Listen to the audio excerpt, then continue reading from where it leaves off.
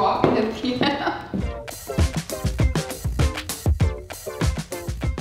Hey guys, it's Sarah here coming back at you with a new crafty video. Today I'm going to be customizing a denim jacket, so uh, let's go get it. Let's venture into my seriously messy closet. I am extremely embarrassed that I'm showing you guys this, but it's real life. I have not cleaned this out, organized it since I moved in, and not something I'm proud of, but it's the truth. Meanwhile, Craig's side is looking real organized, and I'm kind of jealous. All right, I guess it's kind of an organized mess because I know exactly what I'm getting and where it is. This guy.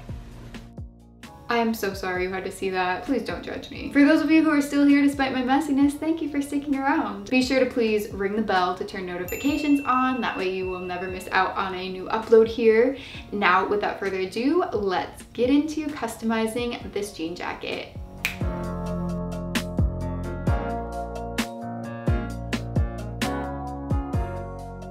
Whoa, would you look at this? Another kind of messy closet. This one's better. I'm working on it. So let's see how many um, fabric paints I have in here. I think it's this drawer.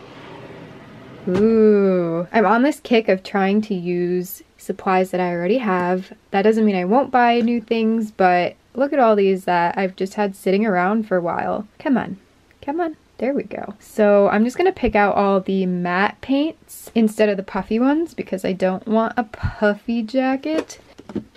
I just dropped everything.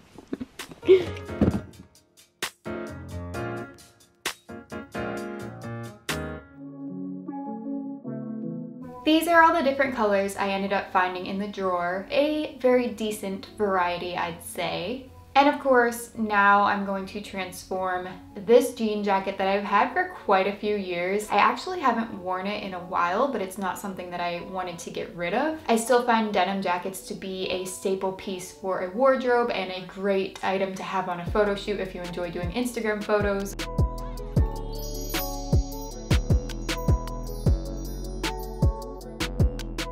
The first thing I'm going to do is create a rough outline of the design that I want on this jacket. So I'm taking a colored pencil, any brand will work. I'm using Prismacolor, but that's just what I had out. And I have a white one. It doesn't really matter what color you use because the point of this is that you're supposed to paint over it anyway, but it is way too scary to just go straight in with paint. That stuff's permanent and you know, I'm not about messing up right away. After getting the basic gist of the design down, I'm mixing white and black fabric paint. I decided that I'm going to go grayscale for the woman that I have here. Right now, I'm just blocking in the shape of her face and her hair. So no shading or anything, I'm just going in with a solid color and I'm basically just mapping out her entire face and then trying to leave some of the key um, feature lines such as the eyes and the eyebrows. I'm trying to leave those so they are visible underneath the paint but still kind of painted in if that makes sense. I want to get all the texture of the jacket covered and that requires at least a couple layers of paint. So this did take a little bit. I know it looks really funny right now, but trust me, later on it'll be a lot cuter and a lot more human looking instead of clown-like. At this point, I actually mixed way too much gray. I'm just not going to do any of those details right now. I'm gonna move on to the lettering. So in order to not waste all that paint, I just went ahead and colored in the hair, painted a layer of nonsense basically just to use it up. So right now her hair looks pretty funny, but just disregard that. The first thing I'm doing with the lettering is outlining in black. It is very difficult to use fabric paint, let me just say. It dries very quickly, it gets kind of clumpy, and it's just not the easiest to paint on fabric with something that's not the smoothest. You have to work, like I said, in a hurry and that's not something I'm ever able to do and make something look good so I'm always really slow with my artwork for the most part. I'm not sure if any of you guys at this point recognize what font this is. It's actually Def Leppard font. I love them. I've always been a huge fan of 70s and 80s music and some of the rock bands. The quote is actually Aerosmith. Well, it's a song title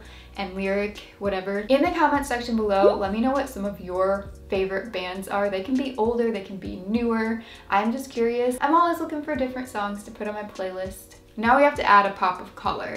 So I have every color of the Rainbow. It's more of a pastel version. I mixed the purple myself with blue and pink. I wanted to make this kind of a dreamy, abstract paint splatter type deal where it just fades from color to color.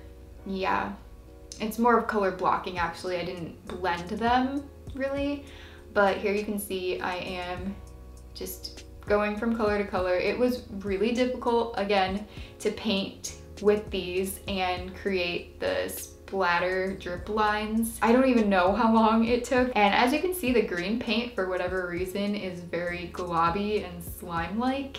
So this was extra difficult to paint with, but I made it work. P.S. Whatever paintbrushes you are using for this project, they will probably get ruined. This paint ends up drying on the bristles and it doesn't really come off. It hardens on there, so, you know, just keep that in mind. Not a huge deal, but just so you're aware. These colors ended up very dull with just one layer, so I actually did two or three for each color after letting them dry in between coats, and it ended up like this. Here we have Kitty Cat Leo, the star of the show. Like, I feel like that's why all of you guys are here, because he's cute. Hey, buddy. Show me your bow. After outlining all the letters with the color blobs, a lot of touch-up work was in need. So here's some of that. I did so many touch-ups. It was just difficult. I don't have a small enough brush. I probably could have went in with maybe a needle tool and used that as a kind of paintbrush, but I didn't. I made things a lot harder on myself it all worked out in the end. So as you can see, the blue, for whatever reason, was not sparkly like the other colors, and therefore the purple isn't really either because I mixed. So yeah, I am going in with a pure glitter. I'm so glad that I had this. And I'm just putting glitter on top of that so everything is more cohesive and blends together, just fits in nicely with the design. And you know, you can't go wrong with glitter. I love glitter. Then another absolutely painstakingly tedious step is doing the white. So this took over an hour and again more touch-ups were needed with black in some spots but I was so so happy when this was finished and then that meant that I could move on to adding detail to the face and for this I was finally able to start defining the features. I made the chin less long so it looked more realistic. And this I turned into the neck and I put some shoulders behind um, the lettering to kind of make it look like she blends in with everything and is fading off into the distance. I am now just going to add the rest of her features like I said and for some areas I did use a colored pencil line and a ruler to help me get things looking a little bit more mirror imaged. So um, you know her face wasn't all wonky and completely off kilter I don't know. Um, I'm very bad at just eyeballing things and making them the exact same. So a little bit of measuring was in need um, her lips, I mean, you could see by the lips that I messed up. I'm glad that this is really easy to paint over and just disguise any mistakes. So moving on, I was able to fix, you know, a lot of stuff that I had messed up. And then I went into the hair to finish that up and add some texture in that area. The hair, I mean, it looks like it took probably 10 minutes, but again, over an hour. This paint is not easy to paint with. Also, I did want to throw in here that you guys can use acrylic paint or at least you can mix some acrylic paint with fabric paint and I guess it's just supposed to give a different consistency and it still will adhere to the fabric and stay there but you might have to do an extra step at the end which would be to heat set it. I don't know all the details so you'll have to google how to do that but yeah this fabric paint should adhere permanently without doing any of the extra work. So I just stuck with plain fabric paint. I really am proud of it. I don't know for sure if I want to add anything to the background because I'm so terrified of messing it up. I feel like it looks so cute and I'm just like really happy with the design how it is. I have been contemplating putting maybe another rainbow drip at the top, but I don't want that to take the focal point away from the Dream On. And I'm just so conflicted. I don't know, maybe if I'll add some white or off-white stars to the back, maybe that would tie everything in together well and really play off the dream aspect of it.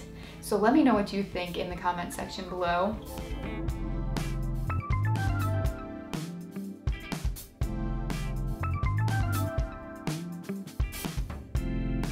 Pretty please give this video a big thumbs up if you enjoyed. If you want to check out my entire customization series where I transform shoes, shelves for room decor and other things. I will leave that playlist in the description box below as well as in the iCard up in the corner. I hope you guys have a great rest of the day. Thank you so much for watching and I'll see you next week. Bye!